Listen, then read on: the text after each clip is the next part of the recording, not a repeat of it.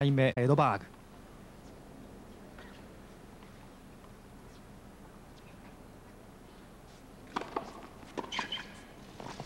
ドロップショット抜いてオンドライン.第1セット6-2ジョン・マッケンローを取りました島健人体動いてますよね。動いてますね。はいクロスに来るかと思ったんですけどね、はいい、つも打つから。ポッと当てただけなんですけど。常に当たりますけども、まあ、バックハンドに比べればということで。でそれでマッケンローはエドバーグのフォアフォアとボールを集めてきているということですね、まあ、大切なポイントはフォアに打ってくると思います。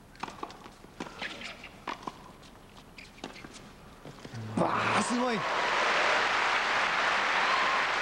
アングルをつけて強打はしませんでしたが、は簡単そうに打ちますね本当に。本当簡単そうに打ちますけどものすごい難しいショットなんですよね。スイングが小さいですよね。あれはあのフォロースルーを前に持ってくると角度がつきませんから、はい。フォロースルー